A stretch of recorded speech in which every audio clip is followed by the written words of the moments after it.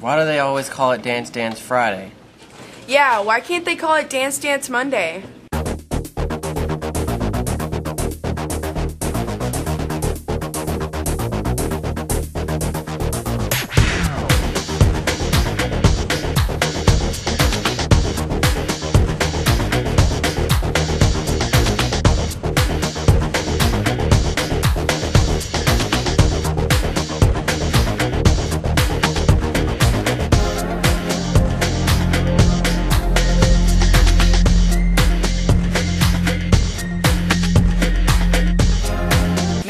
Such a good idea after all.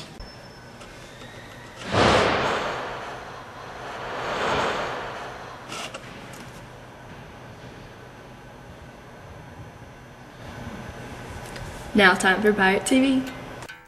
Guess who's back? Hello, Pirates. It's Monday, December 6, 2010. And can it be true? This is the last real week of school before our holiday break?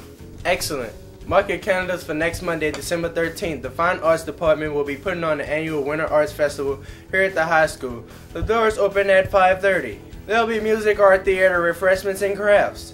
Performances by the Gold Dusters, jazz and vocal ensembles, and the middle school and high school band. Even the fifth grade choir. $5 at the door. Jostens will be here this Thursday during lunches. Juniors can take care of the class ring business. Seniors can still order caps and gowns and other graduation goodies.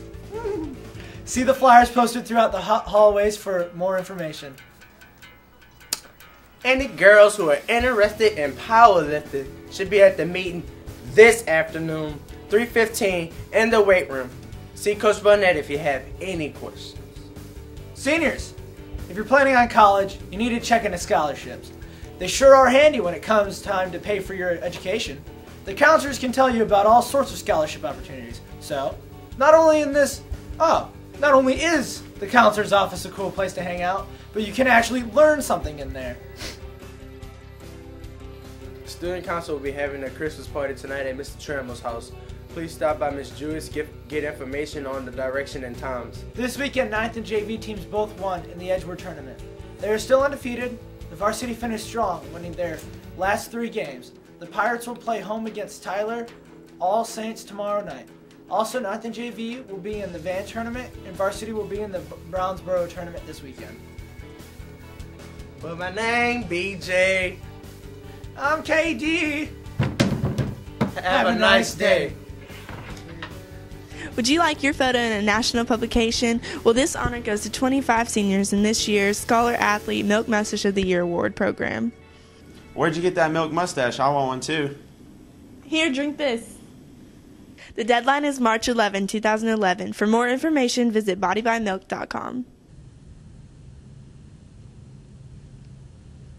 Both the freshmen and JV kept their undefeated season alive by winning the Edgewood tournament and two championship thrillers. Both teams showed great tenacity by coming from behind in the fourth quarter to pull out a victory. Next up for Canada is All Saints Tuesday night at home. Freshmen play at 5, JV play at 6.30, and varsity plays at 8. Pack the stands. Well, good morning, Pirates. December 13th, uh, on Monday, we'll have our sixth annual Winter Arts Festival, and Sarah and I are here to tell you all about it. Um, first off, there'll be visual art groups there. Uh, there'll be lots of great music there. The theater department will be there, as well as the drill team, right, Sarah? Yes. Okay. Um, admit getting in is five dollars, uh, three dollars in advance. If you want to show up, find a band person or theater person who has tickets, or a drill team member, um, they can sell you tickets for three dollars. If you come the night of, it's five dollars, right, Sarah? Correct. And it's going to go on from 5:30 in the cafeteria and close out in the gym at 7:30 with a band concert. Hope to see you there, right, Sarah? Right. Okay.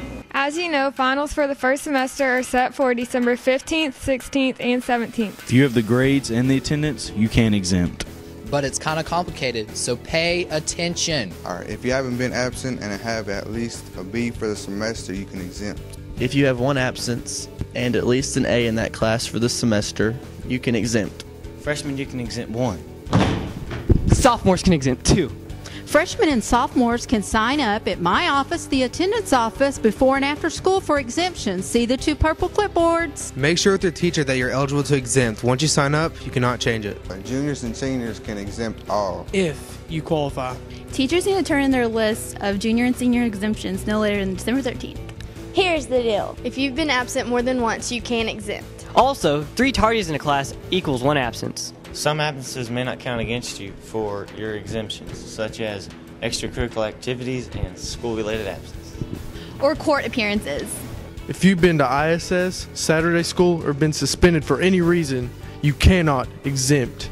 And as always, these rules are subject to change. And we'll pass that along if and when it happens. Finals are coming up and the school year is halfway over. Yay! Wow, that might have been the best pirate TV ever. Thanks for watching.